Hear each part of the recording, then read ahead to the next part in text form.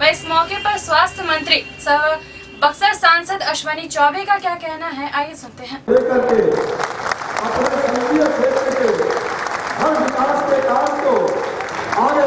के और नहीं, बल्कि ज़मीन पर उतार करके उन कार्यों का निष्पादन करने वाले ऐसे आपके माननीय सांसद श्री आर के सिंह जी और मंत्री निर्मला भारत सरकार।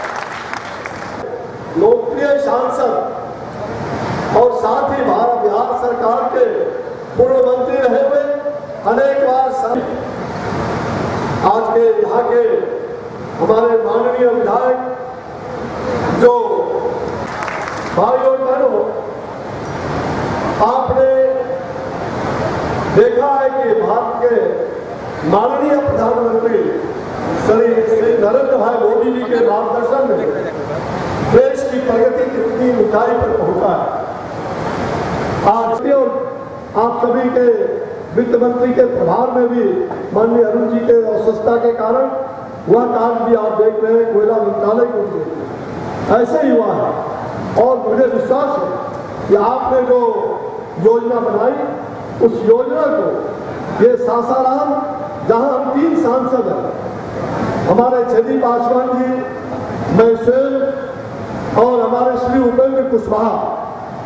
ये तीनों सांसद और चौथे सांसद, जहाँ से ये शुरुआत हो रहा है श्री आर के यहाँ से शुरुआत होकर के और सासाराम तक आर के सिंह जी ने जो प्रयास किया था, इस स्टेशन पर बहुत सारे फुट ओवर ब्रिज आरा में भी बगल बगल के कई कोयलवर और कई स्टेशनों पर, उसका भी श्री गणेश हुआ। मैं आप सबको बताना चाहता हूँ कि प्रधानमंत्री श्री नरेंद्र भाई मोदी जी की सरकार में विकास को हमने बहुत ही अग्रिम पंक्ति पर रखा है।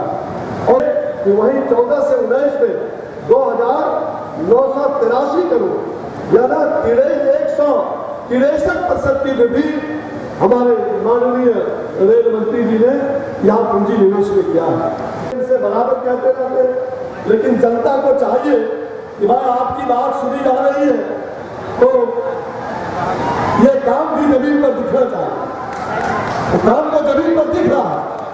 अब कुछ स्टेशन हो डुमराव स्टेशन हो, इन सभी स्टेशनों पर रेल का आप ज़्यादा नहीं।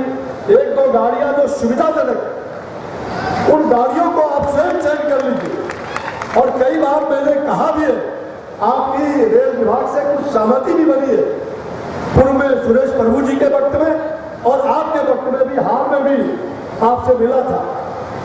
वो विचाराधीन है। मैं चाहूँगा कि इस क्षेत्र में भी और मुगल सराय के क्षेत्र में गर्भनाशा और दुर्गावती में कई गाड़ियाँ ऐसी हैं, सानाई वादक के रूप में ऐसे महान संगीतज्ञ रहे हुए, उस्ताद बिस्मिल्ला खां की वो धरती है।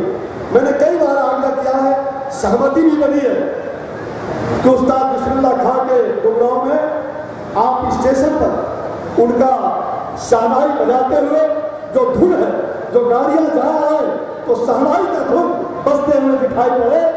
ये आपसे आग्रह है, ये एक बहुत बड़ा पुण्य कार्य होगा और अंत में जहाँ जहाँ भी रेल में आपने मधुबनी पेंटिंग भी लगाया, हमारे बक्सर में राम दरबार का पेंटिंग लगाया, कई विकास की योजनाएँ चल रही है तो जो भी सौंदर्यीकरण का कार्य अधूरा है उसको भी आपके नेतृत्व में पूरा होने का पूरा विश्वास जनता को है।